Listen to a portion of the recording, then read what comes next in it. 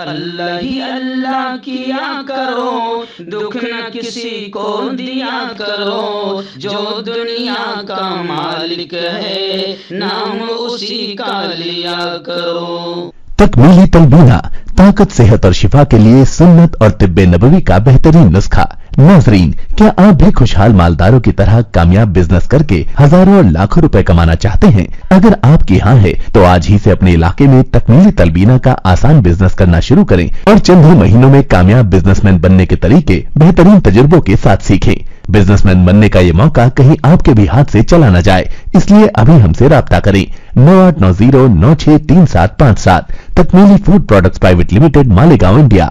अलैक्म वरहमतुल्लाहि वबरकातुहू नाजरीन इस्तकबाल है स्वागत है आपका viral news live studio Jalgaon Maharashtra India में मैं आपका मेज़बान मुफ्ती मोहम्मद हारून नदवी आइए इंटरनेशनल टॉप फाइव न्यूज़ दुनिया की पाँच बड़ी ख़ास अहम खबरों पर नज़र डालते हैं लेकिन सबसे पहले मैं अपील करूँगा कि जो साथी नए हैं और अभी तक इस बेबाक सच्चे चैनल से जुड़े नहीं हैं, अगर आप चाहते हो कि आपको मुल्क भारत की और पूरी दुनिया की सही और सच्ची खबरें देखने और सुनने को मिलें तो फिर आप इस चैनल से जुड़ जाइए। सब्सक्राइब कर लीजिए हमारे इस चैनल को, बेल आइकॉन, घंटी के बटन को भी दबा दीजिए, ताकि हमारी हर वीडियो, हर खबर आपको आपके मोबाइल पर मिल सकें। और हाँ नादरीन हम हर रोज़ एक अपील करते हैं कि प्लीज़, ये एक प्राइवेट चैनल है और चैनल चलाने के लिए पूरी एक टीम काम करती है, बड़ा रुपया पैसा खर्च होता है। अगर आप चाहते हो कि ऐसे चैनल जो जुल्म और ालिमों के ख़िलाफ़ बेबाक अंदाज में बोल रहे हैं, अगर आप चाहते हो कि ऐसे चैनल मज़बूत हों तो प्लीज़ आप चैनल की फाइनेंशियल हेल्प माली ताउन, माली मदद ज़रूर कीजिए। स्क्रीन पर आप नज़र डालें, हमारे चैनल का बैंक अकाउंट नंबर भी दिया गया है। और अगर आप ऑनलाइन पैसा भेजकर मदद करना चाहते हैं तो गूगल पे फ़ोन पे और पेटीएम तीनों का एक ही नंबर है, nine six three seven five four one seven eight six. अल्लाह ने जो भी आपको ताकत दी है, उस एतबार से हर दिन या हफ़्ते या महीने में एक बार ही सही, दो सौ पाँच सौ हज़ार जो भी आप मदद कर सकते हैं, चैनल की मदद कीजिए, चैनल को मज़बूत कीजिए, हमारा साथ दीजिए। नाजिस, वक्त पहली बड़ी खबर गज़ा के हालात को लेकर आ रही है। जी हाँ गज़ा की सूरत हाल अभी बहुत ज़्यादा अबतर, बदतर हो चुकी है। गुज्त कल जनीन में भी मुजाहमत हुई। मुजाहिदीन और इसराइली अमरीकी आतंकवादियों के दरमियान ज़बरदस्त तसादम हुआ। गुज्त कल गरब उर्दन में आरीन अल असवद कि सयूनी फौज ने कार्रवाइयाँ तेज़ कर दी है, यानी यहूदी इसराइली आतंकवादी फौज ने कार्रवाइयाँ तेज़ कर दी है। और वहीं पर हमास के तर्जुमान अबू उबैदा का भी बड़ा बयान आया है कि हमने इसराइल के 136 टैंक्स तबाह कर दिए हैं। और आज जुमा का दिन है। जुमा के पेश नज़र हमास ने पूरी दुनिया के अहल ईमान से गुजारिश की है। कि रिफा गुजरगा रिफा बॉर्डर को खुलवानी और फलस्तीनियों से यकजहती के लिए मुजाहरा किया जाए। आंदोलन एहतजाज करने की अपील हमास ने की है तमाम अहल ईमान से। वहीं पर खबरें आ रही है कि कतर ने तीन रोज़ा जंग बंदी के लिए सालिसी जारी रखी है। खैर, गुजशत कल गजा पट्टी से अल जजीरा की रिपोर्ट के मुताबिक मारे का तूफ़ान अक्सा का गुजशत कल चौंतीसवां दिन था। चौंतीसवें दिन भी इसराइली आतंकवादी फौज ने पट्टी के मुख्तलिफ़ इलाकों पर गजा पट्टी के मुख्तलिफ़ इलाकों पर अपने हमले जारी रखा, जबकि मुजाहमती धड़ों यानी मुजाहिदीन ने भी सहयूनी फौज को इसराइली फौज को काफ़ी नुकसान पहुँचाया। अलकसाम ब्रिगेड ने इसराइली टैंकों की एक बड़ी तादाद को तबाह करने और इसराइली फौजियों को हलाक करने का दावा किया है। गजा की पट्टी से, पट्टी में सुबह सुबह से इसराइली जारियत जारी रही और अब तक अब तक गजा में यूँ समझिए कि ग्यारह हज़ार के करीब अहल ईमान शहीद होकर जन्नत के हकदार बन चुके हैं और इन शहीद होने वालों में बड़ी ज़्यादा तादाद खातन और मासूम बच्चों की है। पड़ोसी मुल्क अफ़गानिस्तान से बड़ी खबर आ रही है। जी हाँ अफ़गानिस्तान के तर्जुमान तर्जुमान इमारत इस्लामिया अफ़गानिस्तान अफ़गानिस्तान का बड़ा बयान आया है। उन्होंने कहा कि हम अपने मुल्क अफ़गानिस्तान की तरह, हमारे पड़ोसी मुल्क पाकिस्तान में भी अमन के खां हैं। तर्जुमान इमारत इस्लामिया अफ़गानिस्तान, इमारत इस्लामिया जबीउल्ला मुजाहिद का बयान आया है। उन्होंने कहा है कि हम अपने मुल्क की तरफ़ पाकिस्तान में भी अमन चाहते हैं। तर्जुमान इमारत इस्लामी एक तर्जुमान ने अफगान सरजमीन पाकिस्तान के खिलाफ इस्तेमाल करने की इजाज़त नहीं देती।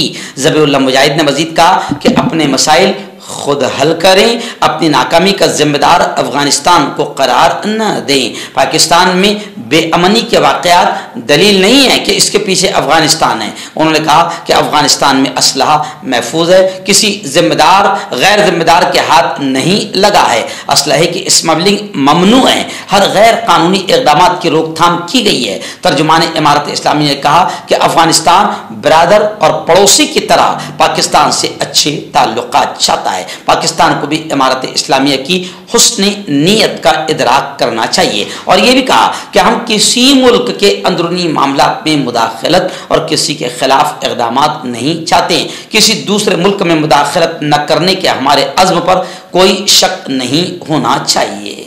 हर्बल सुपर लेकर आया सम्राट गोल्ड किट जो कि मायूस शादीशुदा मर्दों के लिए है। इनको प्योर जड़ी बूटी से बनाया गया है। इससे आपकी टाइमिंग बढ़ती है, जोश और ख्वाहिश में इजाफा होता है नसों की कमज़ोरी दूर होती है। अगर ये आप हमसे लेना चाहते हैं देश या विदेश में कहीं भी तो हमारे दिए हुए नंबर पर कॉन्टैक्ट करें। आपका personal doctor doctor Shavez sexologist किसी भी सेक्स की प्रॉब्लम को लेकर आप मुझसे कभी भी कांटेक्ट कर सकते हैं। इसके अलावा अगर आपको शुगर है, बिना अंग्रेज़ी दवाई, बिना परहेज के आपका शुगर खत्म हो जाता है। बवासीर, खूनी हो या मस्से वाली हो, नसों का दर्द, जोड़ों का दर्द, गठिया भाई, अभी कॉन्टैक्ट दिन दुनिया के सबसे बड़े टेररिस्ट और आतंकवादी बेंजामिन नेतन्याहू, यानी इसराइल के पीएम इसराइल के वज़ीर आज़म का बड़ा बयान आया है। उन्होंने नेतन्याहू ने हिजबुल्ला को धमकी दी। इसराइली वज़ीर आज़म बेंजामिन नेतन्याहू ने हिजबुल्ला को धमकी दी और कहा कि जंग में शामिल होने का अगर सोचा और गलती की तो इंतखब किया तो ये बड़ी गलती होगी। एक बयान में इसराइल इसराइली वज़ीर आज़म याहू ने गजा शहर का मुहासरा कर लिया है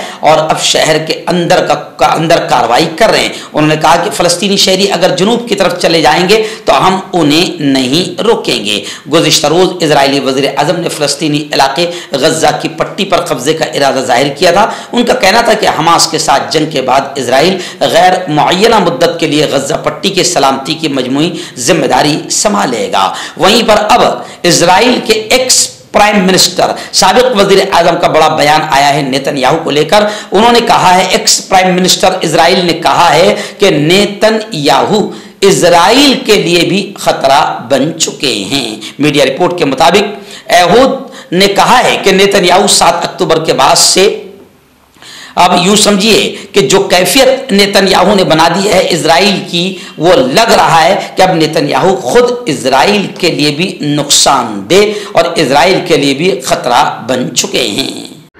मर्दाना ताकत हासिल करें बहत्तर घंटों के अंदर, वो भी जड़ी बूटियों द्वारा हकीम याकूब खां से कांटेक्ट करें, जो कि पिछहत्तर सालों से हिकमत कर रहे हैं। इसके अलावा जोड़ों में दर्द, गुर्दों में पथरी, शुगर, खुजली लिक्योरिया का गारंटी से इलाज किया जाता है, अभी कॉन्टैक्ट दिन गजा के हालात को लेकर एक और बड़ी खबर आ रही है। जी हाँ W H O world health organisation का बड़ा बयान आया है। उन्होंने कहा कि गजा में अब बीमारियाँ फैल सकेगी, फैलेगी। वार्निंग दे दी है और उन्होंने कहा कि इंसानी इमदाद की अब गजा में सख्त ज़रूरत है।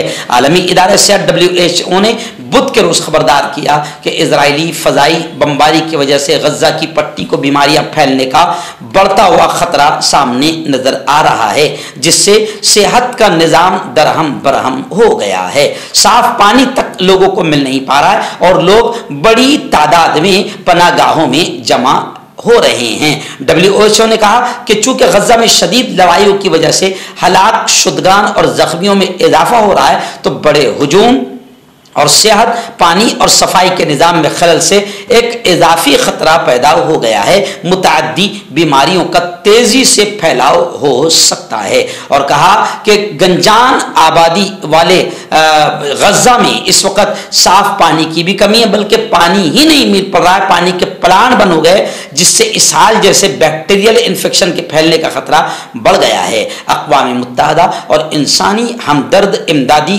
गुरोहों के मुतालबात के बावजूद इसराइल ने इस खदशे के पेश नज़र ईंधन की तरसील से इनकार कर दिया है कि यह हमास के मुमकिन इस्तेमाल में आ सकता है, जबकि गजा तक खुराक, पानी, दवाएँ इनकी तरसील जो है इंतहाई महदूद है। इसलिए डब्ल्यू एच ओ ने यह कहा कि अब वहाँ पर बीमारियाँ भी बड़े पैमाने पर फैलेगी। आखिरी खबर भी गजा और फलस्तीन के हालात को लेकर ही आ रही है। जी हाँ एक खबर तो ये आ रही है कि इस वक्त तुर्क और ईरानी सदर ने अजबुकस्तान सरबराही इजलास में शिरकत का इरादा ज़ाहिर किया है। अब ज़ाहिर बात है कि वहाँ तुर्क सदर और ईरानी सदर मिलेंगे और वहाँ पर भी वो गजा और फलस्तीन के हालात को लेकर बातचीत करेंगे। और खबर यह भी आ रही है कि कतर ने गजा में मुख्तसर जंग बंदी की कोशिशें शुरू कर दी है। कतर जंग बंदी के लिए सालिसी का काम कर रहा है। कि थोड़े दिनों के लिए कम से कम यहाँ पर जंग रुक जाए, ताकि हालात मामूल पर आ जाए। वहीं पर खबर ये भी आ रही है कि सऊदी अरब ने अरब लीग का हंगामी इजलास बुला लिया है। यानी ये अभी तक के इजलास और मीटिंगें ही कर रहे हैं इन नालायकों को अभी तक होश नहीं आ रहा है कि गजा नब्बे फ़ीसद ख़त्म हो चुका है और ये अभी तक सिर्फ़ मीटिंगें और हंगामी इजलास ही बुला रहे हैं। खैर, अल्लाह के दरबार में इन तमाम इस्लामी मुल्कों की वज़ीर आज़म और जिम्मेदारों की पकड़ ज़रूर होगी। वहीं पर पाकिस्तानी वज़ीर आज़म ने गजा में जारीत को लेकर गजा में दरिंदगी और आतंकवाद को लेकर इसराइल की पकड़ का मुतालबा किया है। यानी पाकिस्तान भी सिर्फ़ मुतालबों पर मुतालबे कर रहा है और हालात ये हो गए कि शिमाली गजा से अब हज़ारों एल ईमान जबरी नकले मकानी पर मजबूर हो गए हैं। यानी उनसे, उनको ज़बरदस्ती अब वहाँ से निकाला जा रहा है।